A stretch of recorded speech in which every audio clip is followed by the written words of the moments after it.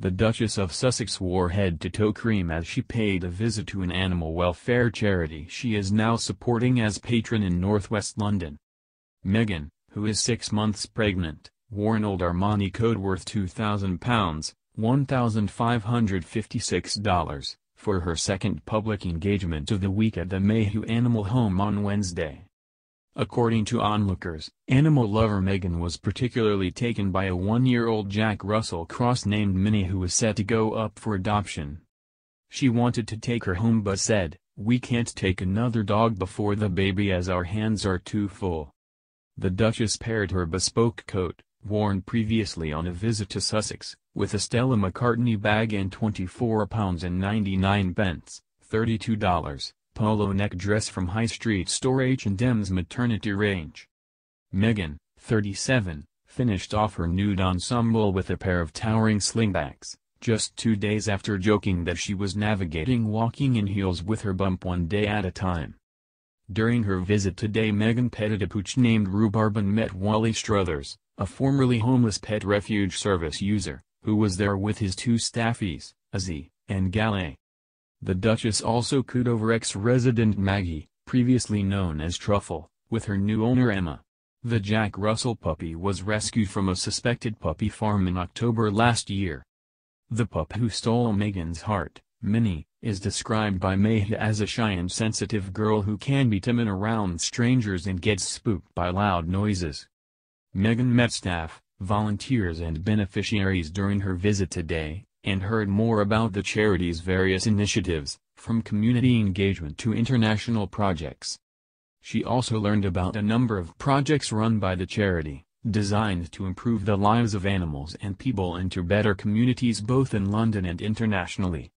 These initiatives include animal therapy visits, work with homeless people and their pets, animal welfare schemes such as the Trap, Neuter and Return program, and international projects including dog rabies vaccinations in Kabul. Meghan spent time touring the facilities, meeting members of the community and animals who have benefited directly from the work of the charity. The former actress had two rescue dogs, a beagle named Guy and a Labrador Shepherd mix called Bogart. While Guy came to the UK with Meghan when she moved from Toronto to live with Harry, and has since been spotted riding with the Queen, Bogart was too old to travel and had to stay behind with friends. Harry and Meghan, who are expecting their first child in the spring, also have another dog, a black Labrador. Tonight, the couple will join a Royal Albert Hall audience to watch Cirque du Soleil performers displaying their acrobatic skills in aid of charity Sentebale. The couple, who recently revealed their first child is due in late April or May, will tonight be guests of honor for the evening premiere of the Canadian Circus Company's production Totem. Before shutting down her social media accounts in 2017, animal lover Meghan, 37, often used Instagram to promote adopting dogs rather than buying puppies. The event will raise awareness and vital funds for the Duke's charity, Sentebale which helps young people in southern Africa affected by HIV. The evening show will be the second in a series of Sentebale nights, following on from a fundraising performance of the hit musical Hamilton last year which Meghan and Harry attended.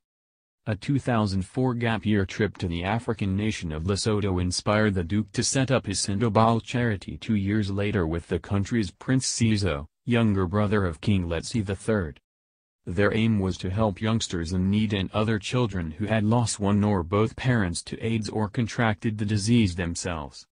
The men established Sentebale in memory of their mothers, with the name of the charity meaning Forget-Me-Not, which Harry later found out was his mother Diana, Princess of Wales's favorite flower growing up. In November 2015, Sentebale opened its £2 million $2,570 OOO Children's Center in Lesotho to scale up its Mahado camps, a residential project providing psychological, social and practical support to children struggling to cope with being HIV positive.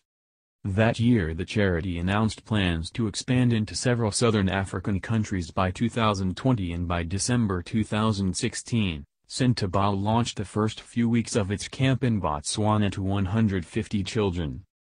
Daniel Lamarre, Cirque du Soleil Entertainment Group's chief executive, said, we strive to make a difference in the lives of youths and encourage them to change the world. It is because both our organizations share these very values that we will proudly dedicate our totem premiere to the Sentebale Nights, a perfect way to allow us to raise significant funds and awareness together. Johnny Hornby, chairman of Sentebale, said, We are very grateful to everyone at Cirque du Soleil for giving us the opportunity to shine a light on the work that Sentebale does to help children and young adults affected by HIV to live happy, healthy and productive lives.